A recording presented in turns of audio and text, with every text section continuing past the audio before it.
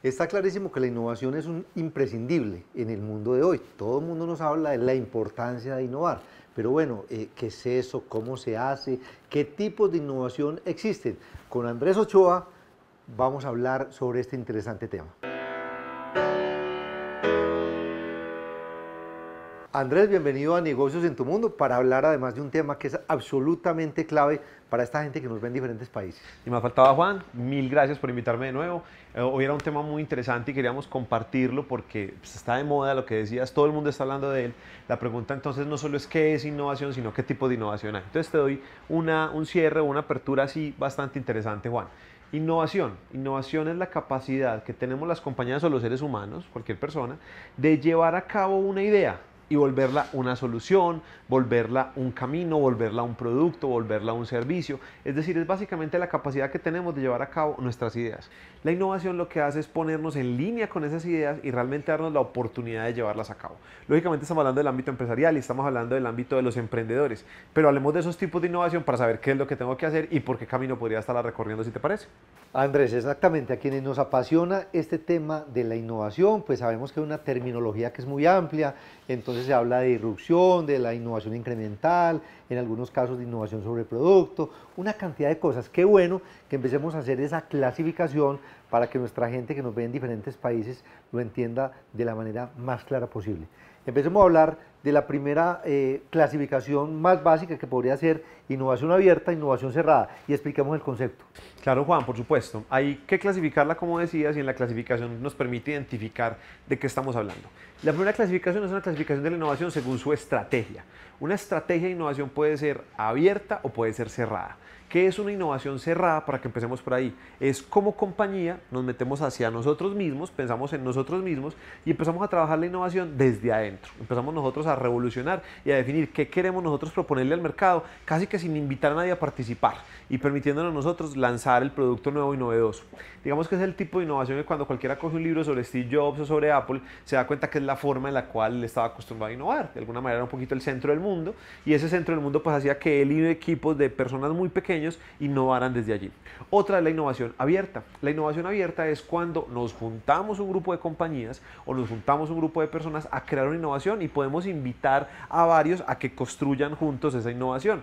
Piénsalo como ha ocurrido también en el mundo de las computadoras, ya no en el caso de Steve Jobs, sino en el caso de Dell o de Hewlett, que tú miras el computador y el computador está lleno de innovaciones, pero entonces el procesador es de Intel, la cámara la puso fulanito de tal, eh, la memoria RAM la puso otra empresa y todos colaboraron en el proceso de innovación y la innovación se dio de manera abierta. Igual podríamos poner ejemplos de emprendimiento cerrado donde alguien se siente y dice voy a planear una nueva empresa de vender café y de vender pasteles y él mismo se inventa la cosa. otra cosa es una innovación abierta donde se juntan una comunidad y una comunidad dice queremos solucionar todos juntos el problema que tenemos en el parque y cada uno pone su granito de arena para solucionar ese problema. Una sería cerrada y la otra sería abierta. Andrés, hablemos ahora sobre esa clasificación que se puede hacer según el impacto, si es incremental, si es radical, si es disruptiva. O sea, que empecemos a explicar muy bien esa terminología y lo que significa. Muy bien, Juan, clarísimo. Mira, según el impacto que tiene la innovación, uno también podría empezar a clasificar los tipos de innovaciones que podemos hacer. Las que decía son tres clasificaciones que en el impacto pueden ser medidos muy claramente. ¿Qué es una innovación? Empecemos con la incremental. Una innovación incremental es cuando somos capaces de coger un producto, un servicio una idea que tenemos e incrementarle algo para que en ese incremento, pues claramente el producto o el servicio que tenemos sea muchísimo mejor. Entonces, si tú piensas en un Starbucks, en lo que tiene que ver con el café, el café sigue siendo el café, pero entonces ahora lo puedes hacer con leche de almendras, si quieres con leche de almendras también con caramelo, pero también te estoy dando el tuyo con espuma y además le voy a poner crema chantilly. Entonces, estás innovando en una preparación que antes no existía, que ahora existe, pero que es incremental sobre el mismo producto. ¿Ok? No estás diciendo, ya no vendo café, vendo otra cosa, sino que estás diciendo, vendo café, pero ahora lo adiciono o lo incremento de alguna manera.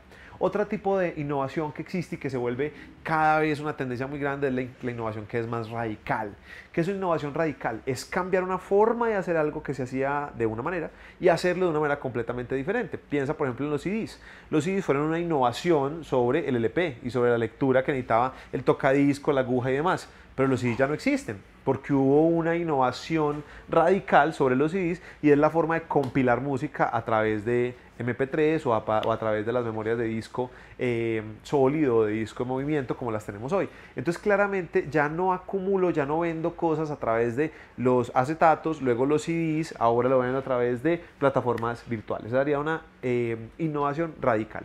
Pero hay innovaciones que son disruptivas. Las innovaciones disruptivas son aquellas que crean cosas que no solamente están transformando la forma en la que hacíamos algo antes, sino que son dramáticamente diferentes. Es decir, era algo que verdaderamente no existía, pero ahora existe. Pensemos, por ejemplo, en investigadores buscando la cura contra el cáncer o contra el desarrollo de tumores. Cuando encuentro esa cura, pues estoy encontrando algo que claramente hace una disrupción en el mercado porque no existía. Cuando piensas en el lanzamiento de pastillas famosas como el Viagra o algo así, pues básicamente lo que le estás diciendo al mercado, vea, esto no tenía solución, esto no teníamos forma de manejarlo, ahora tenemos forma de manejarlo. No estás haciendo algo incremental, ni siquiera estás haciendo el cambio de una cosa a la otra, sino que estás haciendo una disrupción en el mercado y quedándote con un mercado que posiblemente antes no existía y que lo acabaste de crear. Bueno, algo que es importante anotar es que eh, a veces creemos que la innovación es siempre en el producto o en el servicio, y no. Hay unas innovaciones que pueden ser con un alto impacto dentro de la compañía, yo ahí determino, Andrés, cuál área quiero impactar, si puede ser el mismo producto o puede ser algo que me impacte la rentabilidad de la compañía, la estructura de la empresa, eh, los mecanismos de distribución, en fin, vamos a ampliar esa tipología.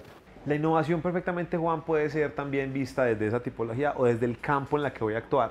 No todas las innovaciones son sobre producto y vamos a tratar de poner unos ejemplos que de pronto no son tan visibles como los que hemos puesto, porque pues, los que suponemos son visibles, pero tienen también un ámbito. Entonces, empecemos. Rentabilidad. Yo puedo empezar a impactar el tema de la innovación a partir de la rentabilidad. Claramente la rentabilidad se logra o incrementando el ingreso de algo o disminuyendo el costo de algo. Entonces, cuando tratas de buscar la innovación desde la rentabilidad, lo que estás tratando de hacer es de bajar algunos costos que te permitan ser más rentable o de incrementar algunos ingresos que antes no tenías para poder tener un diseño mayor o una configuración mayor de ese, de ese tipo de innovación. Entonces, lo que empiezas a hacer es que empiezas a decir, ok, miren, mi hotel tiene unas horas muertas, en esas horas muertas voy a hacer unos eventos, eh, pero para empresarios de la misma ciudad, esos empresarios de la misma ciudad van a alquilarme estos salones y lo que vas a hacer es buscar sacarle mayor rentabilidad a un espacio que tienes muerto durante un periodo de tiempo. Eso es enfocarlo desde la rentabilidad. Otra cosa podría ser desde la estructura. Uno puede innovar la estructura. Es que yo tengo una estructura de ventas que está diseñada a partir de distribuidores, tengo unos vendedores viajeros que visitan los distribuidores y ellos venden así. Perfectamente yo podría estructurarme para tener puntos de venta. O podría estructurarme para tener no 5 vendedores en todo el país, sino 15 vendedores con asistentes. Podría dejar de tener a través de distribuidores y empezar a vender directamente al canal minorista. Entonces hay innovaciones, fíjate que le pegan a la estructura del negocio no son visibles, pero puedo innovar dramáticamente y cambiar totalmente el modelo de negocio si tengo en cuenta eso.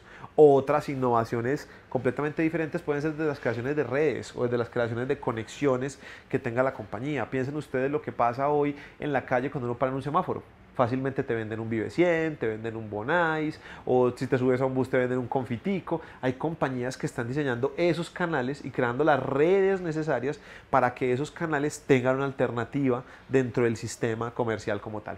Y hay una cuarta en ese grupo que es la innovación del proceso. Digamos que esa es muy usada por las grandes corporaciones. Todo el tiempo estoy impactando el proceso a ver qué le quito, qué le pongo, qué le sobra y revisando el proceso para hacerlo mejor. Ahí aparecen, por ejemplo, todo el tema de certificaciones, normas de calidad, ISO y todo toda la cosa, que nos permiten es afrontar el proceso y hacerlo de la manera más eficiente cada vez. Lógicamente, si soy más eficiente e innovo en ese proceso, puedo pegar la rentabilidad, a la ganancia o de pronto detectar un mejor producto. Hay otra innovación que tiene que ver con la oferta y además en relación con el producto, si ese producto lo va a ofrecer solo o de pronto complementado con algún tipo de otros productos. Andrés, expliquemos esa parte. Claro que sí, Juan. El, llegando al caso de producto, que digamos que es donde se hace más visible la innovación, como le decíamos hace un momento, yo podría tener dos cosas. O podría tener el desempeño del producto como foco de la innovación o el ecosistema en el que se mueve el producto como foco de la innovación. Vamos a ver dos ejemplitos para que sea más fácil de entender. Si ustedes piensan en una marca que le esté pegando constantemente al desarrollo de una industria, como puede ser la industria automotriz, entonces piensen en el desempeño del producto como lo mejor, o como mejoró, por ejemplo, la seguridad. Entonces, el introducirle un airbag a un carro mejora la seguridad de ese carro. El introducirle unos cinturones que no tenía mejora esa seguridad. El introducirle unas capacidades en los golpes, en los choques, mejora las capacidades. Entonces, capacidades de mercado puedo mejorarlas en el desempeño del producto y estaría innovando sobre un producto que ya existe, pero sobre el desempeño del mismo. O lo otro sería complementar el producto con otros servicios o con otros eh, negocios que no son tan claros que son del producto. Piensa, por ejemplo, en ese tema de configuración de producto en ecosistema cómo se empiezan a complementar los temas deportivos.